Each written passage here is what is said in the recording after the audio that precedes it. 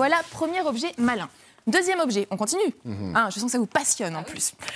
Celui-ci, à votre avis, qu'est-ce que c'est? C'est une tablette pour mettre dans une voiture.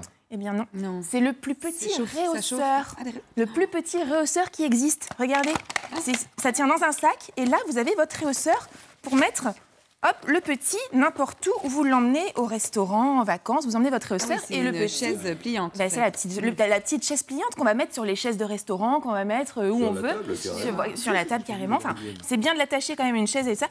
C'est quand même très pratique parce que c'est tout petit, ça tient dans le sac. Mais aussi et surtout, ça, ça s'enlève avec des scratchs et tout ça là, ça se passe au lave-vaisselle.